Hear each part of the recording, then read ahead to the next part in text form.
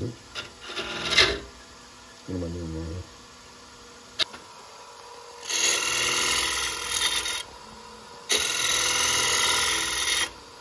Đây.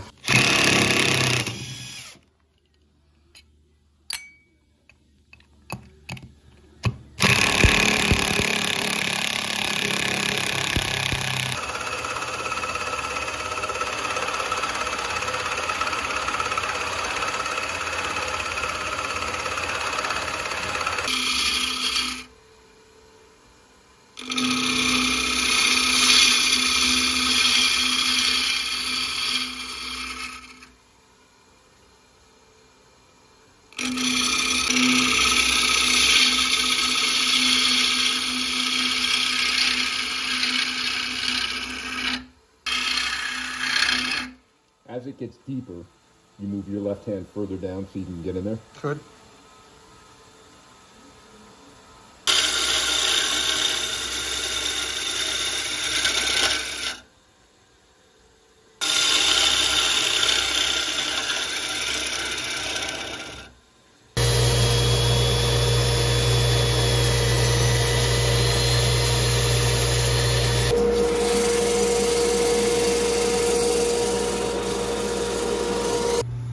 It's kind of cool to see the, the blank and then So here's the before and after shot.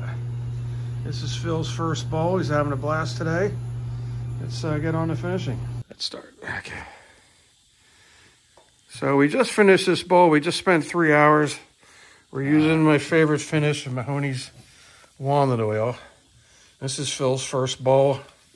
And this is what I call the money shot. This is where we're popping that grain with this uh, oil. This is a food safe finish. And I like spending a good 10 minutes just rubbing this in and letting the wood absorb all that nice oil. All right, so this is just this just makes you feel good at the end of the end of the project. So uh, this is uh, like a three to four hour lesson at Bob's Wood Shop. Phil, what are you thinking today? Great time. Yeah? Excellent experience. Yeah. Love my bowl. Good time in Bob's Woodshop.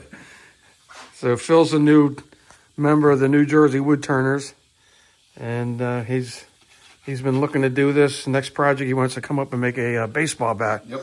So this is a obviously this is a bowl orientation, but he wants to get into spindle orientation also, and maybe start making some pens and bottle stoppers or uh, pepper mills. And there's all kind of directions that you can go in with bowls as well. So I mean, just doesn't that feel good? You know, you got uh, we we sanded it up to 240, and we're just letting that wood absorb all that all that oil. Really beautiful. So what, where's this going to live? What are you going to do with this? Uh, I think my wife can choose. I'll give it to her as a gift. My first handmade, uh, There you go. my first handmade bowl, and we'll. I don't know. We'll see. Yeah, I may just keep it on my desk. yeah. There you go. Let people admire it. Yeah. Well, what happens with that is they'll say, "Hey, what's that?" It? I made Oh, that bowl. yeah. I made that bowl. You made that? Really? You made that? You're kidding. You actually made that? Yeah, I made that. That's no big deal, man. Oh, will you make me one? You make me. You're going to get a lot of requests. uh, gorgeous. Love the Sapele. Got this beautiful ribbons going through it. All right. So that's going to wrap up another episode of Bob's Woodshop. Thanks for coming over today, Phil. Thank you. All right. Great Bye time. bye. My clip